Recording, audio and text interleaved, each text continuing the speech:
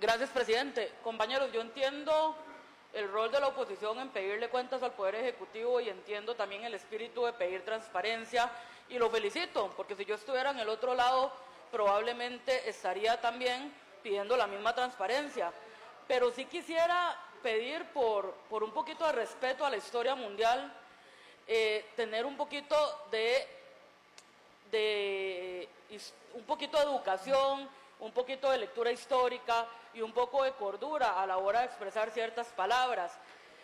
Mal hacemos como diputados cuando una de nuestras primeras tareas es el resguardo de la institucionalidad en traer los regímenes nacionalsocialista o soviético a una discusión de este tipo. Mal hacemos en dos aspectos. Uno, es una falta de respeto con 23 y 17 millones de muertos respectivamente que sufrieron demasiado en esos regímenes dictatoriales y eso es ignorancia pura de la historia mundial.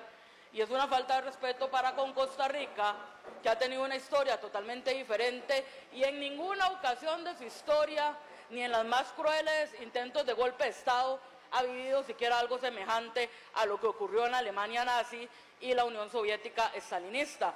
Hace falta leer, compañeros, oigo compañeras decir que las está por la izquierda. Lean antes de apresurarse con esos comentarios porque es penoso. De verdad no se puede hacer eso. Estamos dando la cara, está bien si ustedes no confían en este momento, pero les pido que la investigación sea seria y que si la investigación seria lleva a confirmar lo que estamos aquí diciendo, de que todo está en orden y demás, tengan la gentileza y sean damas y caballeros de reconocer después de la comisión investigadora eso. Por ahora uno entiende que los fuegos electorales obligan a manejar esta posición y demás, pero les quiero decir, habría que ser bien torpe para querer investigar a la gente y plantearle la idea a una lista enorme de medios de comunicación que revisaron este decreto de previo y esta unidad y hacer un decreto. No me imagino yo a la KGB estalinista haciendo un decreto en las épocas de Joseph Stalin, ¿verdad?, para, para decir lo que iban a hacer. Entonces, tratemos de mantener un poco la diplomacia y la cordura, porque de verdad es necesaria, es necesaria y el país lo necesita. No se ha violado la constitución política. Si la investigación llega a decir que sí fue así, me retrataré mis palabras, pero no se ha violado. Y quiero recordar un par de ejemplos donde sí se ha violado. Se violó la constitución política cuando un exministro rodeó esta Asamblea Legislativa con la fuerza pública para exigir una votación y me daría mí vergüenza ser una diputada puesta a dedo por una persona que usurpó así la constitución política y la democracia y haber pedido votos por esa persona, porque aquí se rasgan las vestiduras hablando de la democracia y de la constitución política, pero tuvieron el tupé de pedir votos por una persona que rodeó con la fuerza pública la Asamblea Legislativa como hizo Nayib Bukele hace una semana.